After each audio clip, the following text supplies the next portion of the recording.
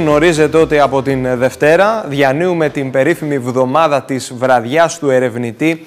Ένας ε, θεσμός βέβαια με πρωτοβουλία της Ευρωπαϊκής Ένωσης. Εδώ Ελληνικό Μεσογειακό Πανεπιστήμιο και Ίδρυμα Τεχνολογίας και Έρευνας έχουν επομιστεί το, το βάρος αυτό, το, το βαρύ φορτίο προκειμένου να μας παρουσιάσουν μία σειρά από διαδικτυακές ε, δράσεις, διαδικτυακές συζητήσεις. Έχουμε προσαρμοστεί βέβαια και στην δύσκολη συγκυρία ελαίου κορονοϊού. Πάμε να συνομιλήσουμε ευθύς αμέσως με τον κύριο Μανώλη Κιμάκη. Είναι καθηγητής του Τμήματος Ηλεκτρολόγων Μηχανικών και Μηχανικών Υπολογιστών στο Ελληνικό Μεσογειακό Πανεπιστήμιο. Κύριε Κιμάκη, καλησπέρα. Να σας ευχαριστήσω πολύ.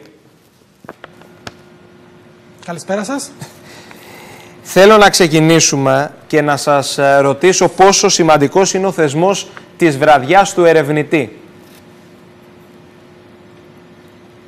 Η βραδιά του ερευνητή είναι ένας θεσμός που ξεκίνησε το 2005 με χρηματοδότηση από την Ευρωπαϊκή Ένωση. Ε, πραγματοποιείται σε όλες σχεδόν τις πόλεις της Ευρωπαϊκής Ένωσης και δι, ε, μέχρι, μέχρι τώρα η, ανοίγει τα, όλα τα ερευνητικά ιδρύματα και τα πανεπιστήμια ανοίγουν τα εργαστήριά τους στο κοινό, κάτι που δυστυχώς φέτος δεν μπορεί να γίνει. Φέτος θα γίνει, δια, θα γίνει διαδιακτικά όπως μιλάμε και, και, και, και μαζί. Ε, αυτό που γίνεται είναι ότι στο, στοχεύει η βραδιά του ερευνητή να, ε, να φέρει κοντά το κοινό με την έρευνα, να καταλάβει ε, το κοινό τι έρευνα κάνουμε, να μπει στα εργαστήριά μας, να δει τα προϊόντα που βγαίνουν και φυσικά να αναβαθμίσει τη θέση του ερευνητή στη δημόσια ζωή, κάτι που έγινε αυτή δυστυχώς με λάθος τρόπο. Με τον κορονοϊό κατα, καταλάβαμε όλοι ότι η έρευνα είναι μονόδρομος, είναι το νούμερο ένα αυτή τη στιγμή που πρέπει να ενισχυθεί σε μια ε, κοινωνία. Χάρη στην έρευνα έχουμε εμβόλια και δεν έχουμε χάρη, στην, ε, χάρη στα τελευταία έξι μήνες, αλλά 20 χρόνια βασικής έρευνας έφεραν το αποτέλεσμα αυτό. Κύριε Κιμάκη, λοιπόν, είναι πολύ σημαντικό. Είναι πολύ σημαντική η βραδιά του ερευνητή. Ένας ε, θεσμός. Ε, ε, να πούμε και κάποιες εκδηλώσεις που πραγματοποιούνται φέτος και έχουν διαφοροποιηθεί. Από τη μία βέβαια δεν επιτρέπονται κάποιες συμμετοχές και κάποιες επισκέψεις στα εργαστήρια των ερευνητών, από την άλλη ωστόσο καθημερινά, και αυτό είναι κατά κάποιο τρόπο το παράδοξο, έχουμε εκδηλώσεις, δράσεις, συζητήσεις μέσω του διαδικτύου, από Δευτέρα έως και Παρασκευή, η μέρα κατά την οποία θα κορυφωθούν αυτές οι δράσεις. Ναι, ναι, από τη μία μπορεί να μην έχουμε την. Ε, μπορεί να, να μην μπορούν να, να έρθει το κοινό μέσα στα εργαστήρια, αλλά μπορεί να τα δει μέσω, μέσω στο YouTube που υπάρχει ειδικό κανάλι. Μπορεί να δει όλα τα εργαστήρια ε, σε διαφορετικές πόλεις, κάτι που μπορούσε να μην κάνει. Και το βασικό είναι να αποκτήσει ε, μια ιδέα τι γίνεται. Δηλαδή το βασι... είναι, δεν είναι μόνο η έρευνα, τι είναι η έρευνα, είναι κάτι απόμακρο. Δεν είναι κάτι απόμακρο, είναι κάτι που γίνεται εδώ, ε, γίνεται από την ανοτεχνολογία από τη ρομποτική μέχρι τη βιοιατρική σε όλα, σε όλα τα γνωστικά αντικείμενα και εμείς στην Κρήτη, ιδίως στο Ηράκλειο, έχουμε την ευτυχία να έχουμε ένα τρομερό οικοσύστημα που δεν υπάρχει άλλο στην Ευρώπη, με δύο πανεπιστήμια, με ερευνητικό κέντρο, ε, που όλοι μαζί έχουμε μια νοοτροπία συνεργασίας, ε, έχουμε, χρησιμοποιούμε τις κοινές υποδομές και, κάνω, και έχουμε πάρα πολύ μεγάλη επιτυχία σε ανταγωνιστικά προγράμματα. Και μην ξεχνάμε ότι έχουμε και την τιμή να έχουμε τον κύριο Ταβερναράκη, που, είναι, που θα είναι, που είναι αντιπρόεδρος στο ERC, μια μεγάλη τιμή για όλη την ε, κοινωνία της Κρήτης. Κύριε Κιμάκη, να μας πείτε πού βρίσκεστε, κάποιες λεπτομέρειες αναφορικά με το χώρο που ναι, ναι, ναι, βγαίνει αυτή η ζωντανή σύνδεση. Καταρχάς σας καλωσορίζω στο Ινστιτούτο των Αναδυόμενων Τεχνολογιών. Ε, αυτή τη στιγμή είμαι αντιπρόεδρος στο νέο ερευνητικό κέντρο του ΕΛΜΕΠΑ. Ε, το Ινστιτούτο Αναδυόμενων Τεχνολογιών, εδώ είμαστε στο εργαστήριο νανοηλικών για αναδυόμενες τεχνολογίες ηλεκτρονικές και ενεργειακές. Εδώ βλέπετε πώς δουλεύουμε. Ε, αντί να δουλεύουμε με πυρίτιο και να κάνουμε ηλεκτρονικά και φωτοβολταϊκά, δουλεύουμε με διαλύματα. Φτιάχνουμε φωτοβολταϊκά τρίτης γενιάς βασισμένα σε περοσκήτη. Η τεχνολογία αυτή δεν χρειάζεται 1500 βαθμούς όπως το πυρίτιο, αλλά γίνεται στα δημοκρασία δωματίου. Άρα μιλάμε για ένα πολύ χαμηλότερο κόστος. Η απόδοση αυτή τη στιγμή είναι πάρα πολύ μεγάλη, είναι γύρω στο 25%. Το πρόβλημά μας για, να, για την εμπορευματοποίηση αυτή τη στιγμή είναι η σταθερότητα που πρέπει να περάσουμε ε, τα πέντε χρόνια για να γίνουν προϊόντα. Οπότε η τεχνολογία αυτή βασίζεται και κυρίως σε γραφενικές νανοδομές. Δηλαδή προσπαθούμε να σωματώσουμε α, νανοδομές μέσα με το γραφένιο που δεν σας έχω πει τι είναι. Το γραφένιο είναι ένα ε, δυσδιάσετο υλικό που έχει πάχος ε, ενός άνθρακα, δηλαδή 10.000 μικρότερες, 10.000 φορές μικρότερα από την ανθρώπινη τρίχα. Το υλικό αυτό έχει εξωτικές ιδιότητες και μπορούμε με βάση αυτό να το ενσωματώσουμε στις διατάξεις μας και να, και να, και να κρατήσουμε μακριά το οξυγόνο και την υγρασία. Εδώ βλέπετε στην κάμερα σε, σε ελεγχόμενες συνθήκες περιβάλλοντος γίνεται εναπόδεση του περοψκίτη. Εδώ γίνεται κρυσταλλοποίηση που αλλάζει το χρώμα και με βάση τώρα αυτό το, όπως βλέπετε εδώ πέρα, εδώ με βάση αυτό φτιάχνουμε φωτοβολταϊκά ε, πανέλα. Ε, μπορούμε μετά να κάνουμε εύκαυτα φωτοβολταϊκά, όπως βλέπετε εδώ πέρα, που, που εδώ είναι μια μεγάλη τεχνολογία γιατί μπορεί να χρησιμοποιηθεί για το Internet of Things, το διαδίκτυο των πραγμάτων, οπότε μπορούμε στο σπίτι μας να έχουμε παντού αισθητήρες που θα τροφοδοτούνται αποκλειστικά από φωτοβολταϊκά που είναι εύκαπτα. Και δεύτερον, μπορούμε να πάμε σε μεγάλη παραγωγή. Αυτή τη στιγμή είναι στο πρόγραμμα, στο κέντρο που δουλεύουμε στην Ευρωπαϊκή Πλατφόρμα Γραφενείου. Έχουμε καταφέρει να ε, κατασκευάσουμε και να μετρήσουμε τα πρώτα φωτοβολταϊκά γραφενείου πυρητίου. Ε, και τώρα θα πάμε και στο πυρητίο. Δηλαδή θα έχουμε φωτοβολταϊκά περοσκήτη και μετά θα έχουμε φωτοβολταϊκά περοσκήτη πυρητίου σε τάντερ, ώστε να δούμε και τις δύο τεχνολογίες πώς δουλεύουν. Ε, τα έχουμε αυτά σε εξωτερικές συνθήκες περιβάλλοντος και τα μετράμε και τα συγκρίνουμε με άλλες τεχνολογίες, το, το γνωστό benchmarking, για να δούμε την uh, πιστοποίηση. Μπορούμε να δούμε και λίγο μία διάταξη εδώ, πώς παίρνουμε τις μετρήσεις; Εδώ πέρα. Θα, ο, ο, ο συνάδελφος θα πάρει μία ειδική έρευνα να δούμε, θα μετρήσουμε ένα φωτοβολταϊκό live τώρα να δούμε τι απόδοση θα πάρει. Εδώ είμαστε γύρω στο 19,78% που είναι ένα πολύ, καλό, πολύ καλή τιμή για τη δομή αυτή. Και με βάση αυτό το cell τώρα,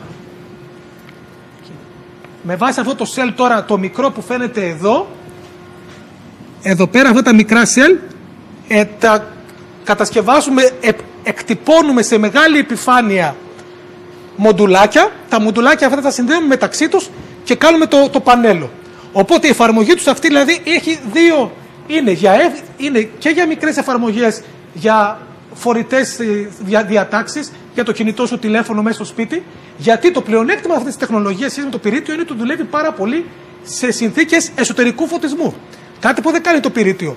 Οπότε μπορούμε να μιλήσουμε για αυτές τις δύο εφαρμογές. Η μια εφαρμογή είναι για εύκαπτα φωτοβολταϊκά σε συνθήκες ε, σε εσωτερικό δωμάτιο και η δεύτερη είναι να γίνει μια συνέργεια με το πυρίτιο ώστε να τοποθετούν σε φωτοβολταϊκά πάρκα που βλέπουμε μεταξύ μας. Κύριε Κιμάκη, το επίπεδο λοιπόν της έρευνας. Και εδώ βλέπετε, είναι ιδιαίτερα μπορείτε να δείτε λίγο και το, και το, και το γραφένιο, πώς, πώς μπορούμε να κατασκευάσουμε το διάλειμμα του γραφενίου και αυτό να το εκτυπώσουμε στις διατάξεις. Δυστυχώς δεν μπορούμε να πάμε στα άλλα εργαστήρια. Κάποια άλλη φορά μπορούμε να πάμε και να σας δείξουμε τις τεχνικές εκτύπωσης που έχουμε για να πάμε σε μεγάλη επιφάνεια. Βέβαια, η νέα ευρωπαϊκή υποδομή εκτυπώσιμων ηλεκτρονικών, σας δίνω μία πάσα. Ναι. Ε, έχουμε, έχουμε, είμαστε πάρα πολύ χαρούμενοι που πριν δύο εβδομάδες εγκρίθηκε η πρότασή μας στην Ευρωπαϊκή Ένωση για, την, ε, για, να, για τη δημιουργία ενός ευρωπαϊκού δικτύου. Το ευρωπαϊκό δίκτυο αυτό υποδομή θα είναι βασισμένο σε εκτυπώσιμες ηλεκτρονικές διατάξει από μπαταρίες, βιοαισθητήρες και φωτοβολταϊκά.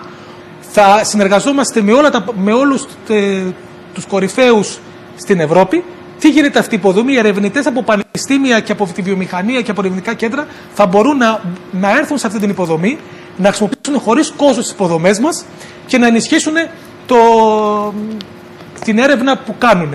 Ε, Επίσης, πολύ σημαντικό, μέσα στο, στο με αυτό έχουμε ένα γκρουπ από την Ισπανία που είναι πρωτοπόροι σε βιοαισθητήρε ε, χαμηλού κόστους που, είναι, που δουλεύουν για το COVID. Οπότε αυτή η τεχνολογία μπορεί να εκτυπωθούν σε μεγάλες επιφάνειες και να ενσωματωθούν σε κτίρια. Οπότε θα γίνεται αυτόματη αναγνώριση αν ο ιός COVID και όχι μόνο αυτός ο ιός υπάρχει στο κτίριο. Ε, επιπλέον, ε, η έρευνα αυτή που θα γίνει θα είναι ε, επίσης θα, θα τροφοδοτεί ενεργειακά όπως σας είπα το, το, το Internet of Things. Δηλαδή θα έχουμε και αισθητήρες, θα έχουμε και επίσης θα μπορούμε να δουλέψουμε σε wearables δηλαδή θα ενσωματωθούν όλες αυτές οι διατάξεις στα ρούχα μας που θα, υπάρχουν, θα είναι self-powered, δηλαδή θα υπάρχει μια μπαταρία και ένα φωτοβολταϊκό μαζί και, και δίπλα θα έχουμε ό,τι αισθητήρα θέλουμε για να περιβαλλοντικό αισθητήρα ή, ή οτιδήποτε θέλουμε αισθητήρα στον μπουφάν μας ή στην, ε, στο μπλουζάκι μας.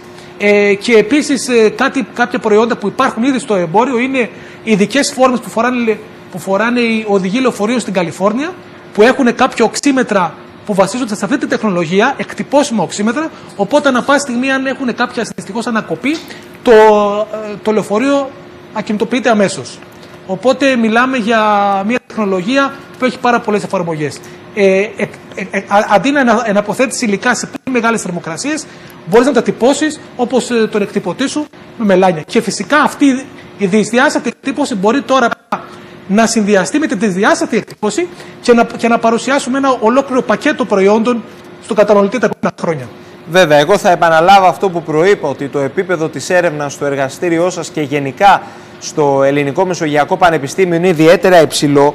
Ωστόσο, κύριε Κιμάκη, βέβαια, για να προχωρήσει η έρευνα και για να στηριχτείτε κι εσείς ο ίδιος και οι συνεργάτες σας, πρέπει να υπάρξουν και τα κατάλληλα, τα απαραίτητα χρηματοδοτικά εργαλεία.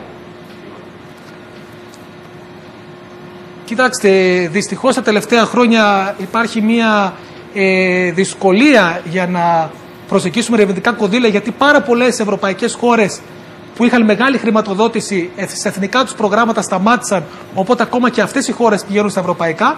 Ε, η, η, προσπάθεια είναι ότι σημαίνει, δηλαδή πρέπει να γράφεις προτάσεις, να ενισχύσεις το δίκτυό σου, να προσπαθείς. Δηλαδή η χρηματοδότηση που έχουμε αυτή τη στιγμή είναι πάρα πολύ μεγάλη για τα ελληνικά δεδομένα, αλλά το πρόβλημα είναι ότι πρέπει να συνεχιστεί γιατί πάει κατά 80% σε νέους επιστήμονες με υποτροφίες και σε μεταδιδάκτορες και το 20% πηγαίνει σε αναλώσιμα. Οπότε πρέπει αναγκαστικά να φέρουμε προγράμματα για να ζήσουμε, για να ζήσουμε ερευνητικά. Δηλαδή, ε, ε, τα τελευταία χρόνια και στην Ελλάδα έχουν βγει κάποια προγράμματα.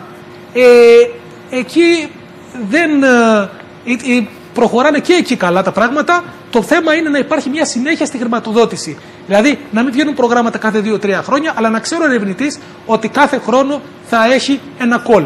Στην έκθεση Πισαρίδη είδα, είδα, είδα πάρα πολύ εθαρρυντικά πράγματα. Μιλάει για 500 εκατομμύρια στην έρευνα αυτόματα, για χρηματοδοτήσεις ε, σε αυτόματο πιλότο. Ε, εάν καταλάβει αυτή τη στιγμή ο κόσμος ότι χάρη στην έρευνα θα ξεπεράσουμε το COVID, και θα τη χρηματοδοτήσει, τότε τα πράγματα είναι πάρα πολύ καλά. Η μεγάλη, αυτή τη στιγμή δεν, γίνεται, δεν είναι τυχαίο ότι η Αμερική, η Κίνα και το Ισραήλ έχουν πρώτη προτεραιότητα στην έρευνά τους και δίνουν τρομερά ποσά σε αυτό. Σημαίνει κάτι. Και αυτό που πρέπει να γίνει και στην Ελλάδα είναι να γίνει η, η ανάπτυξη γνώσης, να γίνει καινοτομία και να μεταφερθεί στην κοινωνία. Δηλαδή δεν είναι μόνο να βγάζεις τη γνώση, αλλά να, έχεις, να μπορείς να έχεις εταιρείες δικές σου, να κατοχυρώνεις τις ε, τη δουλειά σου και να μπορείς να έχεις εισοδήματα από αυτό. Δηλαδή τα, τα top πανεπιστήμια στον κόσμο έχουν πάρα πολύ μεγάλα εισοδήματα από τις πατέντες προηγουμένων χρόνων. Μιλάμε για βάθος 20 ετία. Κάτι που πρέπει να γίνει και στην Ελλάδα, ώστε να έχουμε μια σταθερή χρηματοδότηση από τις πατέντες που έχουν και οι υπόλοιποι. Απλά πρέπει να γίνει μια υποστήριξη. Να, τώρα ε, περιμένουμε το νέο νόμο ότι θα βγαίνουν καινούργια γραφεία καινοτομίας και μεταφορά, τη μεταφορά τεχνογνωσίας σε όλα τα πανεπιστήμια. Είναι πολύ ενθαρρυντικό αυτό να γίνει και το βασικό είναι να δώσουμε κινήτρα στα νέα παιδιά να, να ασχοληθούν με την έρευνα και γι' αυτό κάνουμε και αυτές τις εκδηλώσεις στην βραδιά του ερευνητή. Κύριε Κιμάκη, ο καθηγητής Μανώλης Κιμάκης, τι θα έλεγε απευθυνόμενος στη νέα γενιά, σε νέους επιστήμονες που σκέπτονται να βγουν στο εξωτερικό για να πραγματοποιήσουν μια καριέρα και για να εργαστούν; Κοιτάξτε, δυστυχώς αυτό είναι ένα πρόβλημα. Δηλαδή, ε, μπορώ να σας πω ένα παράδειγμα για έναν φοιτητή μου. Μου είπε ε, να κάνει δακτορικό μαζί μου ή να πάει σε ένα τόπο εργαστήριο στο εξωτερικό. Του είπα ότι να πάει στο τόπο εργαστήριο στο εξωτερικό. Κοιτάξτε, αυτή τη στιγμή το καλό είναι να κάνεις ό,τι μπορείς, να βρεις την καλύτερη θέση για σένα. Ε, είναι καλό να, να φύγεις στο εξωτερικό. Εγώ έχω κάνει το δακτορικό μου στο Πανεπιστήμιο του Cambridge. Δεν είναι το ίδιο να το κάνεις σε ένα μέτρο πανεπιστήμιο, αλλά δεν είναι και για όλους. Δηλαδή, ο καθένας έχει το δικό του επίπεδο. Κάποιοι δεν μπορούν να φύγουν από την οικογένειά τους, κάποιοι μπορούν να φύγουν. Το θέμα είναι να πας σε ένα group που θα, που θα δουλεύει για την έρευνα, που θα έχει πολύ καλό περιβάλλον και ας είναι και μπορεί και στην Κρήτη, μπορεί και στο MIT, θα βγάλεις τα αποτελέσματά σου, θα πάρεις πολύ καλό διδακτορικό και μετά θα κάνεις το επόμενο βήμα και καλό πανεπιστήμιο. Δηλαδή, είτε στο διδακτορικό σου είτε στο μεταδιδακτορικό σου, κάποια στιγμή θα ανταμευθεί ο κόπος σου και θα μπορεί να κάνεις το επόμενο βήμα. Ε, μπορεί εδώ στην Ελλάδα να μην έχουμε πολλές μόνιμες θέσει όπως έχουμε στο εξωτερικό, γιατί δεν έχουμε βιομηχανία, δεν έχουμε δηλαδή εταιρείες RD πάρα πολύ αυξημένο, αλλά πολύ εύκολα μπορεί κάποιος ε, Έλληνας να κάνει πάρα πολύ εξαίρετη δουλειά και να μεταπηδήσει στο εξωτερικό πάρα πολύ. Ε, δηλαδή, από τη μία είναι επιτυχία για μας να φεύγουν τα παιδιά μας, αλλά από την άλλη δεν είναι και ό,τι καλύτερο για μας. Δηλαδή, τους εκπαιδεύσαμε και πάνω που παράγουν και είναι αυτόνομοι θα φύγουν να πάνε κάπου αλλού. Αλλά τι να κάνουμε; Φανταστείτε τους γιατρούς που για να τους εκπαιδεύσουμε σαν κοινωνία το, το, ξοδεύουμε τόσα χρήματα και αυτή τη στιγμή το μεγαλύτερο ποσοστό είναι στη Σκανδιναβία και δουλεύουν εκεί γιατί η μισθή είναι δεκαπλάσια από την Ελλάδα. Να απευθύνεται και ένα κάλεσμα στους ε, νέους της Κρήτης και όχι μόνο να συμμετέχουν σε αυτές τις διαδικτυακές δράσεις του ΕΛΜΕΠΑ και του ΙΤΕ αυτή τη βδομάδα; Ναι, φυσικά πρέπει να μπουν στο ε, ε, βραδιά ερευνητή στο Google, μπορεί να το γράψει. Υπάρχει κανάλι στο YouTube. Υπάρχουν όλες οι, οι πληροφορίες ε, μέσα στο κανάλι. Όλα τα βίντεο που, που παράγονται κατά τη διάρκεια των δύο εβδομάδων είναι τώρα online.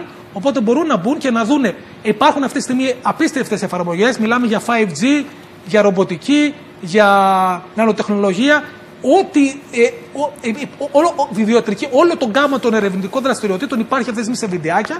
Θα μπορούν να δουν τα βιντεάκια και το κατάλληλο είναι να σπουδάσουν πρώτα το γνωστικό αντικείμενο που θέλουν και μετά να ενταχθούν σε μια από τις ερευνητικές ομάδες που θέλουν για μεταπτυχιακό και διδακτορικό. Αυτός είναι ο στόχος αυτής της βραδιάς του ερευνητού. Μάλιστα. Κύριε καθηγητά, να σας ευχαριστήσω πολύ. Τους νέους στην έρευνα.